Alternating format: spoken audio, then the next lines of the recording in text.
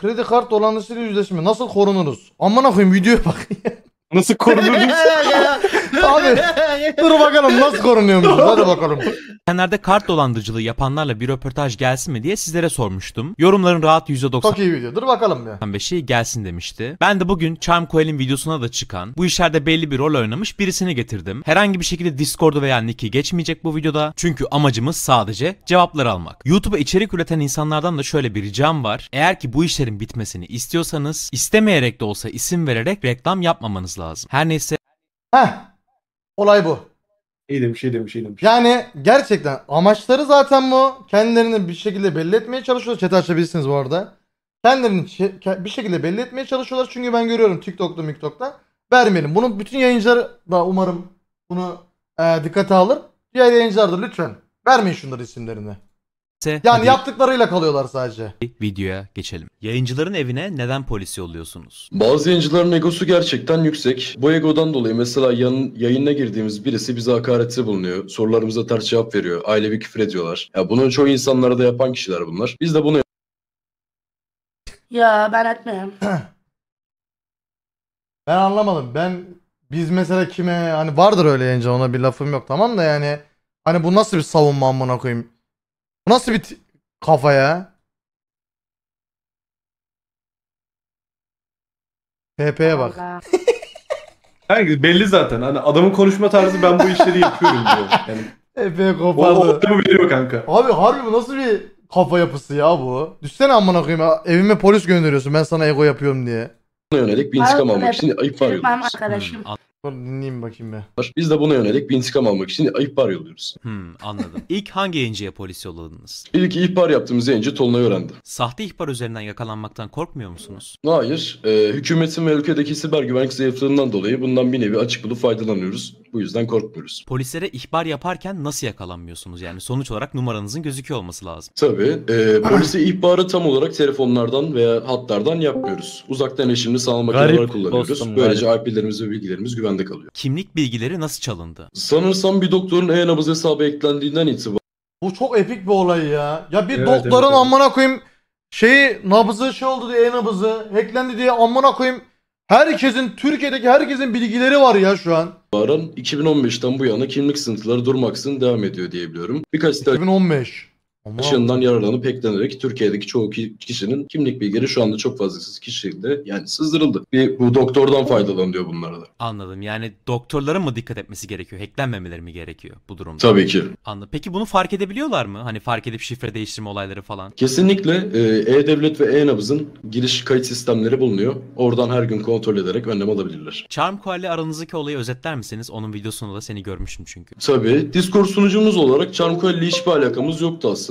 Duyurularda paylaştığım Trendyol'dan alacağım birkaç ekipman ürünün fotoğrafını atıp sizce bunu almalı mıyım diye bir soru sormuştum aslında. Charmcoil'in modları bunun esisini alıp kendisine iletti. Yanlış anlaşıldım bir nevi. Ben de Trendyol'dan sipariş paketini es alıp ironi anlamında bunu da alın videoya koyun dedim. Yani onu da koydular. Yaptıkları prim dışında bir şey değil diye yorumluyorum ben. Peki insan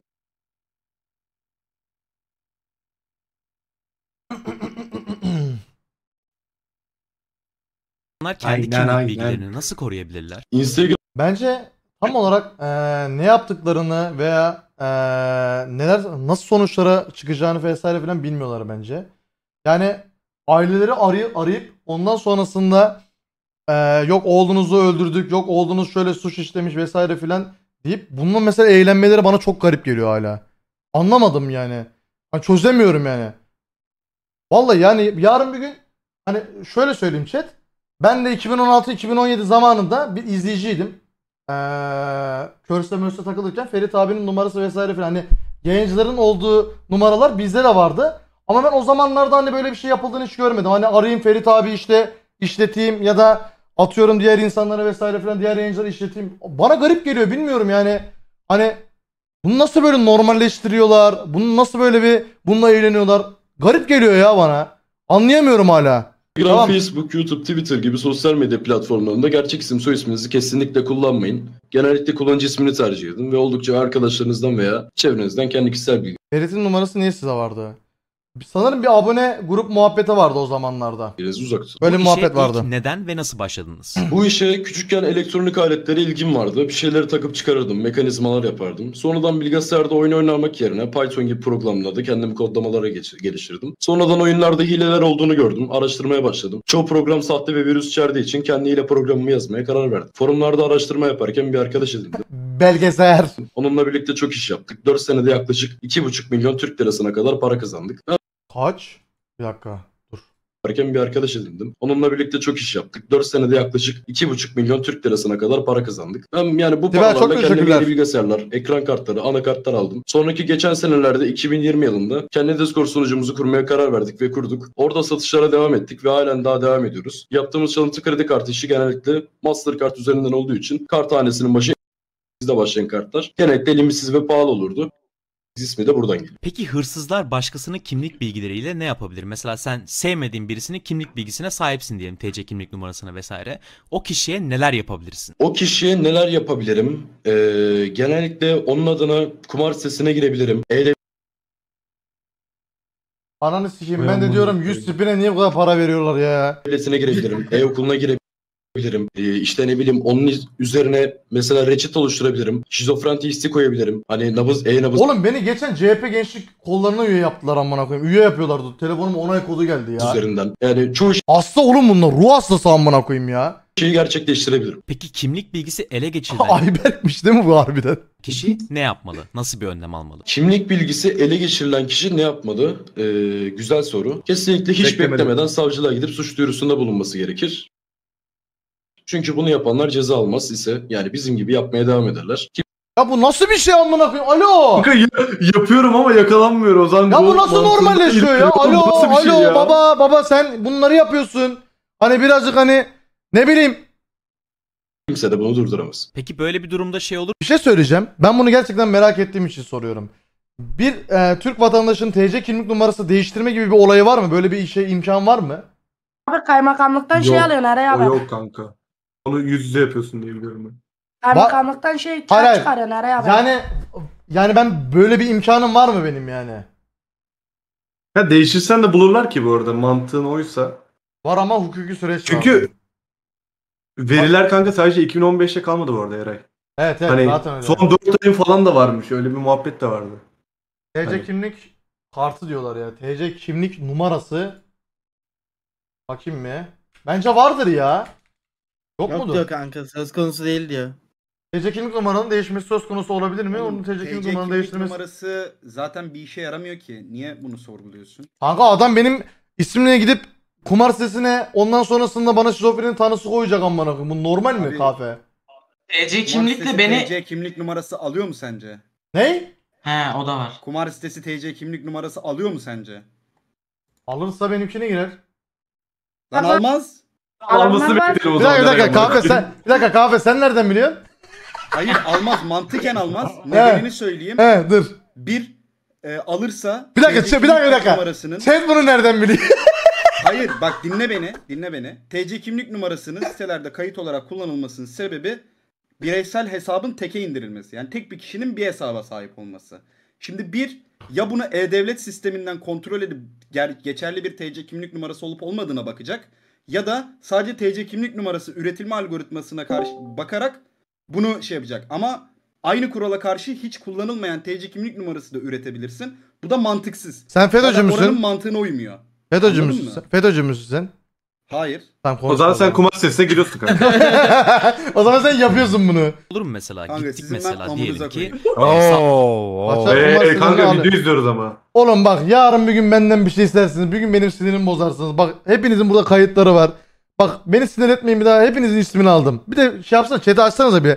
Chat'tekiler de bir evet desin onların da bir ismini alayım bir. Bak çocuk beni sinirlendirme. Aç aç. Aç bir. Ha, yap, yapıyoruz dediniz biraz önce. Dur dur aç bir. He, evet. Ya siz nasıl oğlum korkunuz yok mu amına koyayım sizin? Seç can var mı? Bu ne amına Hepsi koyayım de ya? yazıyor. Allah Allah.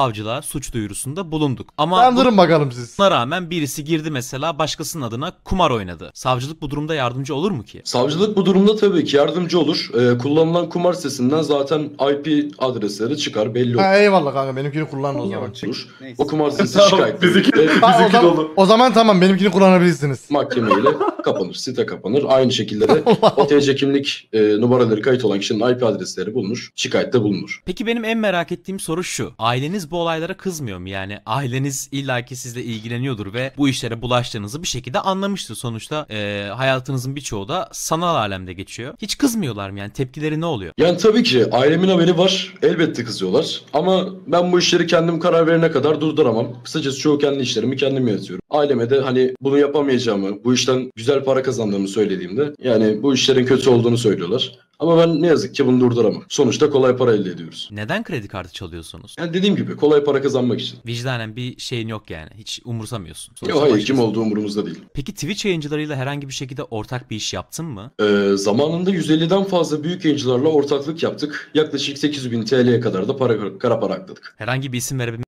Kaç para lan? 8 milyon mu dedi? Yok, 8 bin mi dedi? 8 mi? He 8. Harbi kaç dedi ya dur bakayım bir. Bin mi, milyon 800 lira mı? bin dedi. Dur bir dakika. Da para, kara para akladık. herhangi bir isim verebilme şansın var mı? Zaten Duymadım ki amına koyayım yanlış aldım bile 200 bin ya. TL'ye kadar da para, kara 800 bin. TL'ymiş. herhangi Ha. bir isim verebilme şansın var mı? Zaten ifşalandılar. Yani tabii ki üzgünüm ama hani bu bahsettiğim kişiler büyük yayıncılar. Hani büyük yayıncılar olduğu için şu anda da hala yayın yapmaya devam ediyorlar. Şu anda yayın yapmaya devam ediyorlar. Tabii ki. Büyük yayıncılardan bahsediyorum. Eray işte yakalandı bin ne? üstü, Eren, Eren ne üstü yaptı izlenen oğlum yayıncı. ifşa oldu mu? Aralarından bir Amına tanesi koyayım bir de sonumuz geldi ya. en sevdiği karakter League of Legends'taki Ramus olabilir mi? Bir anda aklıma Bak. geldi. Ee, olabilir. Onunla alakalı birkaç şey Diyemem. duydum çünkü. Gördüm Olabilir. yani. Yasuo da olabilir. Bilemem. Yasuo da olabilir. Ha bak Tabii. sen. Tamam. Aynen. Anladım. Peki bu yayıncılar kartların çalıntı olduğunu biliyorlar mıydı? Yani siz bit gönderiyorsunuz ya onlara. Onlar mesela Evet. çıktılar dediler ki biz bunların çalıntı olduğunu bilmiyorduk. Ee, bizim herhangi bir bilgimiz yoktu. Havadan geliyor sanıyorduk vesaire vesaire. Siz direkt olarak söylüyor muydunuz yoksa belli ediyor muydunuz yani? Bu nasıl oluyordu? Yani tamamen saçmalıktan ibaret. Zaten iş yaptığımız yayıncılarla önceden konuşma halinde. İşte anlatıyoruz. Biz size şu kadar şu kadar bit göndereceğiz. Siz de bize paranın %70'ini, %80'ini veya kendinize %20, %30 pay alacaksınız diyorduk. Zaten genellikle kabul ediyorlardı. Çünkü büyük meblağlardı. 100 bin lira kazanıyorsak 30 bin lirasını kendileri alıyordu. Yani kısacası haberleri vardı. Kendileri de kazandıkları için ağızlarını açmadılar. Yani tam olarak çalıntı demiyordunuz ama belli oluyormuş. Öyle mi? Belli oluyordu tabii. Vay amına koyayım. Kart dolandırıcılığı ile toplamda kaç TL kazandın? Gerçi buna 2,5 milyon demiştin galiba. Hayır. O e, önceden hani yayıncılıktan kazandığım paralar. Çalıntı kredi kartı işine şey yapmadım. işe koymadım. Toplamda şu ana kadar yaklaşık 13 milyon TL kara para Yayıncılık mı? Az önce hile satarak demedim ama koyayım. Parayı Konuş. duydun mu? 13 milyon. kazandık. Yani bunları aklayacak olursak 12,5 milyona kadar para kazandık. Bu miktar hatta bunu tek yapmamıştır ya. Değil mi? Yani Ben Ekibi falan vardır herhalde. ne bileyim amına direkt, kanka bence bu direkt bir Discord sunucusunun toplamı falandır kanka. daha fazla artıyor. Hani kazanmaya da devam ediyoruz. Peki bunların Bence eee Discord'un artık ya Türkiye tarafına sanırım ya duyduğum kadarıyla söylüyorum. Discord sanırım TR tarafına bir veri vesaire falan vermiyormuş galiba. Orada sen biliyorsundur belki. Evet vermiyor. Abi bence ya Discord kapansın ya da artık Discord yani burada bir faaliyet falan göster. Bu böyle olmaz yani bu. Kanka Ulan bir şey değişmeyecek böyle bir- ki. Abi nasıl Discord değiş- bitsin, Skype başlar. Skype bitsin, işte ne bileyim TeamSpeak Bir şey devam eder. Hani bir yere toplanabilirler kanka. Bir şey değişmeyecek. Discord vermiyor diye bir şey yok. Anlatayım mı? Anlat abi onu da. Ee, olay şu şekilde oluyor genelde.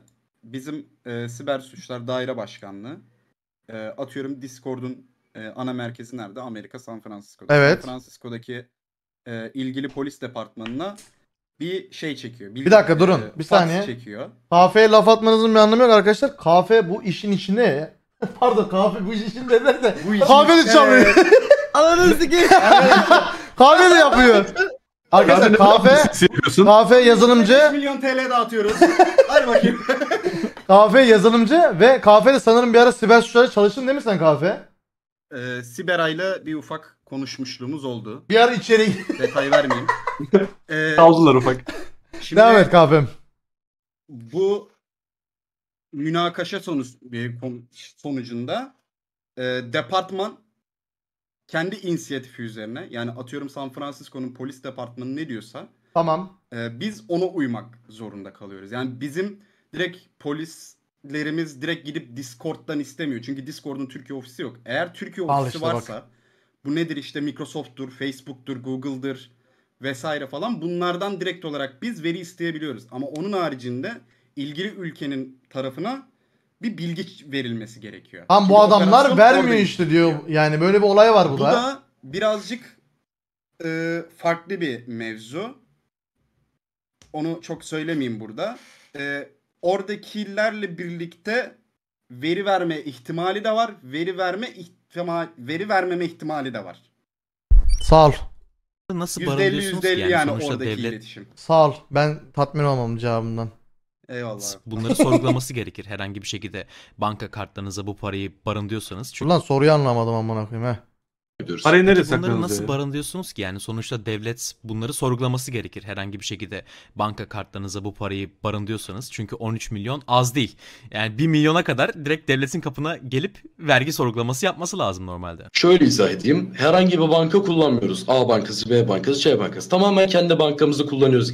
Kendi bankamız ne ya? Kendi banka ne ya? Kendi bankamız Adam ne banka ya? mı kurmuş? CC Bank. Devam. bu ne amına koyayım? Eee dur bakayım. Güvenlik sistemimiz, kendi siber kodlamalarımız, kendi bankamız. Mesela ben şu anda 5 bankası kurdum. Diğer bankalarla hiçbir alakam yok. Ama ben bunu adama mesela biz A bankasıyız diye tanıtıyorum. IBAN yolluyor. Ama yolladığım IBAN normalde benim kendi bankama ait olan IBAN. Hani hiçbir şekilde birisi gelip sorgulamıyor. Tamamen kendi bankanızı oluşturmuş gibiyiz. Yani düşün. Abi coin diyorsunuz da coin'de tamam. Geçerli olan yerler var Bu ama olay bu arada e, yok. Yani bu anlattığı olay gerçek olma ihtimali yok. Çünkü Nasıl yok? herhangi bir bankanın herhangi bir bankanın IBAN'ına para gönderebilmek için onu tanıyor olması lazım amına koyayım. Yani E nasıl Peki, yapıyor kanka? O de zaman bir bir kere şeyde yalan söylüyorum diyorum burada. hayır burası yalan bariz yalan yani. Doğru Peki söylüyor daha kanka önce lan. bu illegal olaylar yüzünden hiç yakalandığın oldu mu? Veya sorgulandın mı? Tabii e, yakalandım. Çok kez yakalandım hatta. Yani kendi Ama sonradan bankası değil tabii ki serbest bırakıldım. E, bir Serbest bırakılmış yakalam. Nasıl ya? Tabii e, yakalandım. Çok kez yakalandım hatta. Ama sonradan tabii ki serbest bırakıldım. E, Birçok kez ifademi doğru düzgün verdim. Sağlam ifade verince herkes yani çoğu şey kolay oluyor. Yani buna ben çok fazla bir şey diyemem. E, sözde bulunamam ama dediğim gibi çok kolay bir şekilde serbest kalıyoruz. Bunun için hani korkmuyorum da. Yapmaya da devam ediyorum. Burada anladığım kadarıyla sen Türkiye'desin o zaman doğru mu? Evet ben Türkiye'deyim. Peki sana bir sorum daha var. Ee, bu Twitch'teki özellikle e, bit olaylarından sonra birçok yayıncının ifadesi alındı. Hatta bir rapçinin de bu işlerde olduğu biliniyor ve onun da ifadesi alındı. Ancak şunu fark etti ki bunların hiçbiri tutuklanmadı. Nasıl kurtuluyorlar? Yani para ortada, çaldıkları para ortada. Ama nasıl kurtuluyorlar? Ben biliyorsam bunu sormak isterim. Tabii e, yeterli bir kanıt toplanmışsa eğer Baran ne amına koyayım ya. e, polisler tarafından ifadeye çağrılır, sorgulanır. İşte bunu neden yaptım vesaire yaptım mı, böyle bir şey yaptım falan filan diye. Sağlam bir ifadeyle veya avukatla kurtulabiliyorlar kolayca. E, neden böyle? Çünkü e, biliyorsunuz hani devleti hani şeyler birazcık Türkiye olarak zayıfız bu konuda. Herhangi birisi mesela şu anda bir tecavüzcü çıksa bile 5 sene tutuklanıp 2 sene sonra serbest bırakılıyor. Hani ben bunu tamamen şeye bırakıyorum. Dediğim gibi bu işi yapanlar da çoğunlukla %99'u serbest kaldı. Anlıyorum. Yani yeterli kanıt mı? Kafe ben bir şey daha sorabilir miyim? Kanka Sor. Konusu açılmışken. Şimdi bu adamlar yurt dışındaki kartları çaldığını söylüyorlar değil mi? Evet. Ee, koskoca Amerika'da ee, bu 3D 3D mi oluyordu o? Evet, Evet, evet 3D. Ha 3D Secure falan var ya muhabbetleri. Bu Öyle, Amerika'da onu yok. Bizim ülkemizde As nasıl oluyor mesela? As bayrakları Ha. dünyanın en gelişmiş bankacılık sistemleri Türkiye'dedir. Vay amına koyayım ya. Ee, ama bunun da sebebi e, yine bu tarz olayları bizim kendimize yapmamızdan kaynaklı. Peki Ee, onun Amerika kanka haricinde Amerika'da niye böyle bir şey? Şöyle Hani- bir olay var. Onun Ha. haricinde şöyle bir olay var. Ee, yurt dışında da bu tarz olaylar oluyor. Ama bu tarz olayların sonucunda bir operasyon gerçekleşiyor. Anladın mı? Anladım. Oğlum ne kadar sinir bozucu lan. Evet, Serbest çok- bırakıyorlar kanka. Ben hırslı hırsız dediğim için Bu arada Karakola 3D gidiyorum kanka. çok da Adamlar şey yapıyor. büyütmeyin. Yani Ha. e, ben şeyi görüyorum. 3D Secure var. E, kartım güvende mevzusunu falan görüyorum. Öyle bir olay e, her zaman için geçerli değil. E, 3D Secure istediğin zaman aktif edip istediğin zaman aktif edemeyeceğin bir şey developer tarafında. Yani 3D Secure istemeden de aslında karttan bir şekilde para çekebiliyorsun. Yurt dışında sanal kanal kart kullanımı daha fazla. Bizde e, kredi kartı kullanıyorlar. Ha. Anladım. Apple Pay'de yok mesela. Abi. Oğlum öyle yurt de demeyin şey şimdi. yok mu lan? Ha. Interpol yok mu? Interpol. Kanka biz neredeyiz bu amına koydum nerede? Lan zaten adam diyor ki Amer- ne yapacaksın? Amerika diyor ki Onlar yakalıyor ya. Hani onlar yakalıyor ya. Bu... ya oğlum adam diyor ki zaten bak Interpol'ün uğraştığı meseleler farklı bir şey amına koyayım. Yani ha, Interpol amına koyayım bir tane Discord fotoğrafında adamı bulacak burada onunla uğraşacak değil mi? Interpol sen de bununla mı şey yapar Ahmet? Nereden bileyim abi? Amerikan polisi Interpol diye biliyorum ben. Bir de Interpol mi biliyorsun sen? FBI falan ne arıyor? FBI, heh, FBI var. FBI bilmiyorum ben. Gitti ya bir de. Bilmiyor polis. Hani neden bırakıyor? Yeterli kanıt bulamıyorlar evet. Peki kredi kartımızı nasıl koruyabiliriz? Online alışverişlerinizde mesela kredi kartı veya banka kartı ile yapmak yerine sanal kart üzerinden Ya ananı sikeyim sanal kart kahve adam doğru. e, sanal kart onlar fazla kullanıyor diyor yarrayıyor dedi. Chat'teki arkadaş. Hayır oğlum sanal kartı onlar daha fazla kullandığı için eee, çok fazla bir olay dönmüyor bu şekilde. Onu demeye çalışmıştır chat'teki. Yani sanal güvenli kart şey. güvenli mi baya yani harbiden? Evet çünkü sanal kartta şöyle bir şey var. Senin mesela kredi kartının günlük limitini belirleyemiyorsun. Ama Evet. mesela sanal karta diyorsun ki ben 2000 lira attım. Gün sonunda da bu limiti e, sıfırla diyorsun. Ha Sen bak o 2000 TL'lik alışverişini yapıyorsun. Kartında 10-20 TL'lik bir şey kalıyor mesela. O da gün sonunda senin ana bakiyene aktarılıyor. Sanal kartında da bakiye olmamış oluyor. o zaman bundan sonra sanal karttan devam aga. Lan? Zaten en başından beri bunu söylüyoruz. Sanal kart kullanın. Güvenmediğiniz bir yere ya hatta güvendiğiniz yere bile kendi gerçekten ana kartınızı ana kart ne? Ana kullandığınız kartınızı vermeyin amına koyayım yani. Abi ben ziraat kullanıyorum. Güvenilir mi? Devam. Ahmet. Bak adam Ha. sana diyor ki sanal kart kullan diyor. Bu da gelip diyor ki ziraat kullanıyor. Lan o sanal kart olmuyor. Ziraat kart. Hani ana kartını ziraat kartını sanal Tamam kart da- oluştur diyor. Ziraat ne abi oluyor? şimdi yemek söyledim ben diyelim. Nasıl vereceğim pa- kart? Kapıda ödeme yap. Kapıda ödeme post makinesi. Evet, post kapıda makinesinden ödeme bir şey olmaz yani inşallah. Oğlum o da Nasıl tehlikeli lan okutacağım? arada. Nasıl Kapıda ödeme de okutacağım? tehlikeli. Kapıda- Kartı vereceksin okuyacak. Tamam da sanal kart kart yok diyor. Sanal kart. Ahmet Al. sen Sanal kart oluşturabiliyorsun. Ahmet sen devam et boş ver. Lan dur kone- şeyin şarjı bitiyor ya. Lan bu ne amına koyayım bu ya? Ya evde Kahve beş en tane garantisi var, nakit şimdi diyebilir hepsini miyiz? yemez. Evet en garantisi nakit. Tek milyon yani. Bunu, reis. bunu bir düşün kanka. Ben öyleyim oğlum zaten. Paparadan- İstanbul'a. Oğlum bir şey söyleyeceğim. Bizim ülkemize şey gelsin ya. PayPal yeri gelsin ya. Sorma sahiptir. PayPal gelsin, Apple Pay gelsin. Duymuyorum, dayı dur, Apple Pay bekle. çok güzel bir şey. Gelsin, Ne gelsin? ya. Uber de gelsin lan. Uber'i de getirin. Heh. Şimdi söyle bir şey diyorsan. Ananı götünü Ney? sikeyim. Diyorum Alo. ki Apple Pay de gelsin, Apple Pay de gelsin. Apple Pay, Apple Pay ne oluyor aga? Ee, Apple Pay'de şu, kart bilgilerini Apple'a kaydediyorsun. Evet. Tamam mı? Ben Orada hep ben Apple'a şifreleniyor. güvenmiyorum. Ee, ya şifreleniyor. Tamam mı? Bir altyapıda saklanıyor. Evet. Ee, sen sadece o kartı kullandığında bu çalışır hale O zaman bu konu hakkında size inanılmaz manyak bir bilgi vereyim mi? Bundan Ver. 3-4 ay önce biz Bone'yle Discord'dayız tamam mı? Bone bana ne dedi biliyor musunuz mu? Dedi ki kanka dedi ben Apple'a güvenmiyorum dedi. Niye dedim? Dedi ki bence Apple dedi 15-20 sene sonra dedi herkese vurgun yapacak tüm kredi kartı bilgilerini çalacak dedi. Aa, evet. Ya dedim ki amına koyayım adamlar trilyonluk şirket. Sence yani adamlar ekstrasını ister mi filan dedim buna. Yok kanka bence öyle diyor. Lan sen ne mal Oğlum, adam? Eray, Ona bakarsan, Ya Ama bak ona şöyle bakarsan düşün. Mastercard amına koyayım herkesin kredi kartını çalabilir. Bu nasıl Tamam, bir mantık amına Öyle koyayım? bir Var mı? mantık da var. Ama öyle bir mantık da var. Diğer bir mantık da var. Ney var? İşte e, Apple'ın bütün her şeyi çalması gibi. ama adam şimdi bir gün adam mesela bir gün diyecek ki ben diyecek sikim taşıyam sürü sikerim Apple'ı kapatıyorum diyecek amına koyayım. Alacak bütün kart bilgilerini kaçıracak şey yapacak. ya Tam- koskoca Apple benim kartımı ne yapsın? Yani Öyle düşünme işte. Nasıl? Öyle düşünme. Ya Öyle düşünme amına koyayım. Öyle düşünme işte. Oğlum bu bana niye mantıklı geldi ananı sikeyim ya? sen ilk defa doğru konuştun he. Hayır sana demedim ya ben Bone'yi dedim ya. He. O zaman Bone mantıklı o zaman ben tamam ben Apple'a güvenmem aga. Apple düşer bundan sonra şey devam. yapabilirsiniz. Sizin için daha güvenli olur. Bilgilerinizi daha iyi bir şekilde saklayabilirsiniz. Peki dolandırıcılık yaptığından dolayı hiç pişman olduğun oldu mu? Yani tabii ki e, ilk vurgunum aslında kendi aileme ihanetti. E, Oğlum niye? Allah Allah. Böyle bir adamdan zaten Haydi vicdan bakalım. vicdan beklemek ya da bizim şaşırdığımız olayları şaşırmaya gerek yok ki zaten. akrabalarımdan birinin kartını patlattım. Yaklaşık 6500 TL'ye kadar da para çalmıştım. Hani onlar bunu fark etmemişti. Ama ben zaman zaman vicdan azabı çektim o zamanlar. Kendi paramı legal bir şekilde kazanıp aileme Baba inanılmaz ya. At- e, 60 kuruş sonra ne yapacak? E, amp Apple.